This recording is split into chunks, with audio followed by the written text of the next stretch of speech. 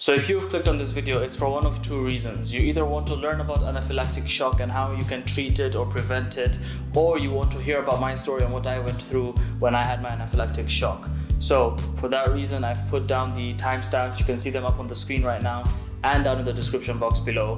Click on the timestamp that you want to watch the most, or if you want, you can watch the whole video, completely up to you. So just for your information, the timestamp is down below. So the first thing to tackle is obviously what is anaphylaxis or anaphylactic shock. And to put it in short terms, anaphylactic shock is basically a severe allergic reaction that can end up being life threatening and some people even die from it. It can happen within seconds or minutes of when you come into contact with something that you're allergic to, whether you know it or you don't. The most common symptoms that people have reported are difficulty breathing, so shortness of breath, people find it difficult to breathe, and uh, usually people end up dying because their airway closes and they end up choking and they die. Other common symptoms include itching, rashes, swelling of the face, or any part that maybe had you had come into contact with if it was something like a bee sting for example a fast heart rate known as tachycardia where your heart is beating really fast and you're sweating. Some people have reported confusion and other symptoms that may not be common like stomach pain. Unconsciousness or passing out is also something that can occur if all these things are overwhelming the person and they just can't breathe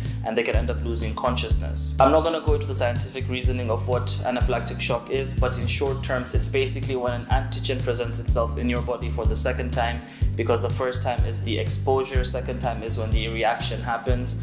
Um, basically, the antigen connects with the IgE antibody, if I'm not mistaken, which then binds to the mast cells, which then ends up causing the cells to burst and releasing histamines and other mediating factors that can end up causing vasoconstriction that then causes problems with breathing, swelling, etc. etc. You might have noticed that I said histamines, and that is the why the medication antihistamines exist because those antihistamines, when you have your allergic reactions, you can take the antihistamines and that and they reduce the allergic reaction because histamine is one of the mediating factors or one of the main mediating factors that causes these allergic symptoms. So, who can get anaphylactic shock?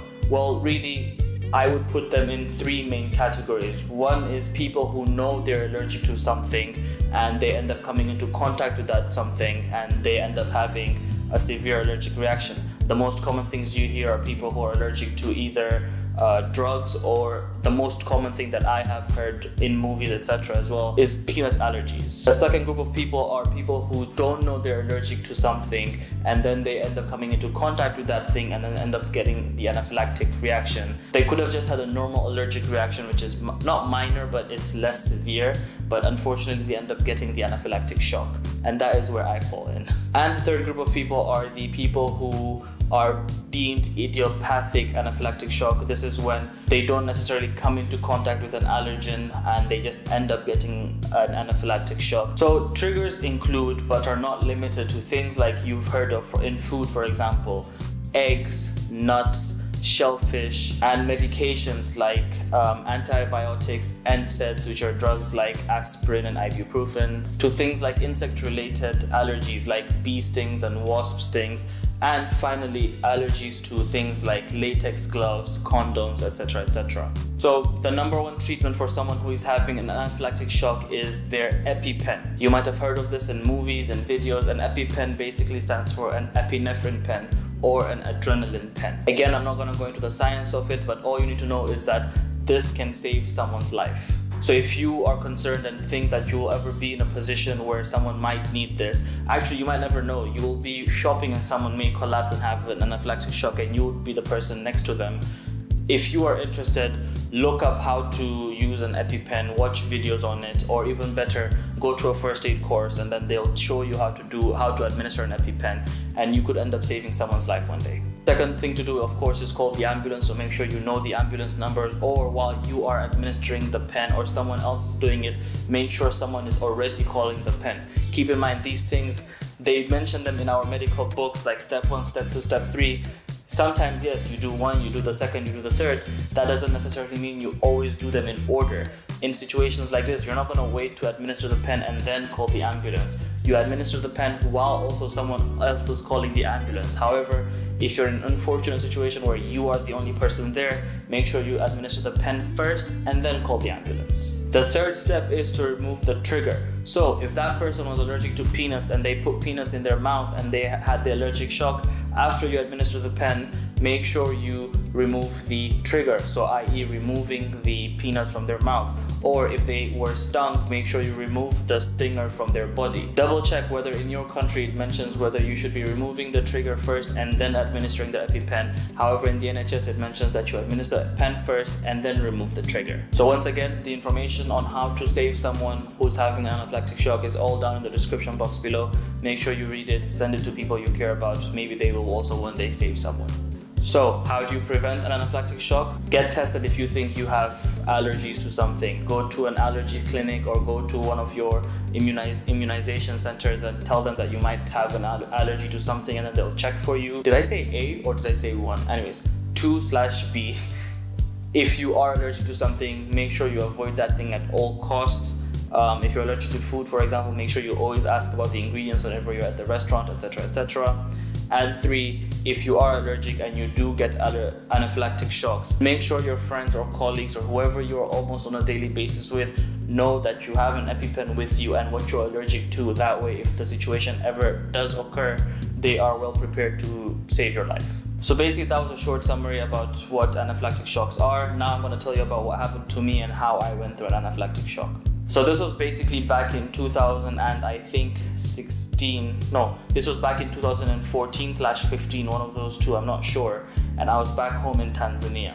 And basically what happened was I had a really bad fever and I had a really bad um, stomach ache and I had diarrhea as well. I don't know what I had actually, but it just wasn't nice. I had a high fever and my mom also had a fever. I remember because we went to the hospital together. So I remember me and my mom going to the hospital, which is like around 30 second walk from my house and we went there and they took our temperatures and our temperatures were really high. They offered to give us an injection to reduce our fever. The injection was a diclofenac injection, which is an NSAID injection.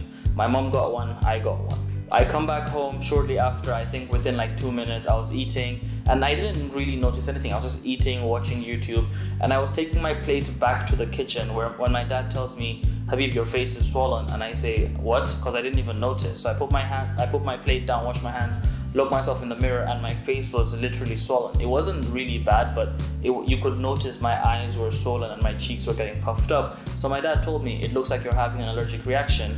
Go quickly to the hospital. And quickly, I just put on my shoes and ran to the hospital, which is which was thankfully so close, under 30 seconds. Got there, and the doctor, who was my cousin, realized that I was having an anaphylactic shock, so they gave me epinephrine, but they didn't like stab me. They gave me basically a subcutaneous injection, I think, or was it a layer above that? I'm not sure. But basically, it was an injection that was really painful. It really, really stung. And um, after like a few seconds slash minutes, I could feel the swelling go down. Went back home. Because you got injected with adrenaline, your heart starts racing and beating 100 miles an hour, and you're just boom, boom boom, boom. And the worst experience of all this was when the adrenaline is wearing off. So you literally feel like you're crashing. So I was just on the sofa and I could literally feel my heart rate go from 100 miles an hour to just slowing down. And I, I'm not sure, but I think I read that your heart rate doesn't go from high to perfect it goes high low and then goes back up so i think that's what happened is i went i stooped really low and i could just feel sluggish and I just did not want to move. And I, it genuinely felt like I was going to pass out and fall asleep. But thankfully, I just chilled for a minute or two and then I was back to normal. So, what I think happened was that ever since I was growing up, I never ever had NSAID. So, I never had ibuprofen, I never had aspirin.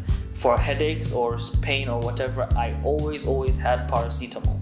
Never in my life did I have NSAIDs when I was in uni in 2013 to 16, in 2013 I was living in I was living in a shared house with six other people and there was this Spanish couple who were living there with me. And one day I had a really bad headache, however I was out of paracetamol, but they had ibuprofen and they offered it to me. So I was like, you know what, what's the worst that can happen? Because I never had it before. So I took the ibuprofen, headache went away, all cool. the next time that I was ever exposed to an NSAID was that injection that day to help me with my fever.